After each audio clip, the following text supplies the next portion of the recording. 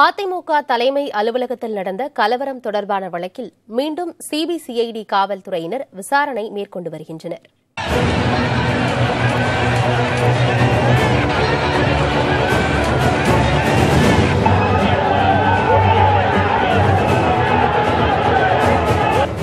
கடந்த ஜூலை பதினொன்றாம் தேதி அதிமுக பொதுக்குழு கூட்டம் நடந்தபோது ஓபிஎஸ் இபிஎஸ் ஆதரவாளர்களிடையே மோதல் ஏற்பட்டு கலவரம் உருவானது.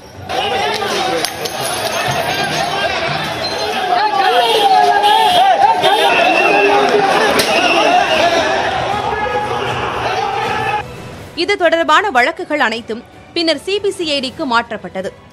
வழக்கு தொடர்பாக கடந்த ஏழாம் தேதி அதிமுக தலைமை அலுவலகத்தில் சிபிசிஐடி காவல்துறையினர் சோதனை மேற்கொண்டனர். கலவரத்தின் போது பதிவான சிசிடிவி காட்சிகளையும் ஆய்வு செய்தனர். இந்நிலையில் விசாரணை முறையாக துரிதப்படுத்தப்படவில்லை என சென்னை உயர்நீதிமன்றத்தில் AIADMK MP C V Shanmugam தரப்பில் மேலும் ஒரு மனு தாக்கல் செய்யப்பட்டது. உரிய முறையில் விசாரணை நடத்தப்பட்டு வருவதாக சிபிசிஐடி தரப்பில் பதில் மனு தாக்கல் செய்யப்பட்டது. இதன் தொடர்ச்சியாக புதன்கிழமை சென்னை சிபிசிஐடி தலைமை அலுவலகத்தில் அதிமுக தலைமை அலுவலக மேலாளர் மகாலிங்கத்திடம் ஒன்றரை மணி நேரமாக விசாரணை நடத்தப்பட்டது.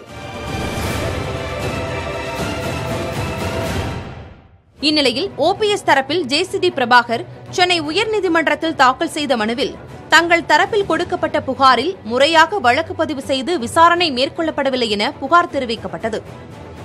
இது தொடர்பாக சிபிசிஐடி தரப்பில் பதிலளிக்க உயர்நீதிமன்றம் நோட்டீஸ் அனுப்பியுள்ளது. இச்சூழலில் அதிமுக தலைமை அலுவலகத்தில் சிபிசிஐடி காவல் ஆய்வாளர் லதா தலைமையிலான காவல்துறையினர் விசாரணை நடத்தினர். வருகிற பத்தொன்பதாம் தேதி இந்த வழக்கு தொடர்பாக நீதிமன்றத்தில் சிபிசிஐடி காவல்துறையினர் அறிக்கை தாக்கல் செய்ய உள்ளதால் துரிதமாக விசாரணை நடத்தி ஆவணங்களை திரட்டும் பணியில் சிபிசிஐடி காவல்துறையினர் ஈடுபட்டு வருகின்றனர். முன்னாள் முதலமைச்சர்களான எடப்பாடி பழனிசாமி ஓ பன்னீர்செல்வம் ஆகியோரிடமும் விசாரணை நடத்த திட்டமிடப்பட்டுள்ளதாக தகவல் வெளியாகியுள்ளது.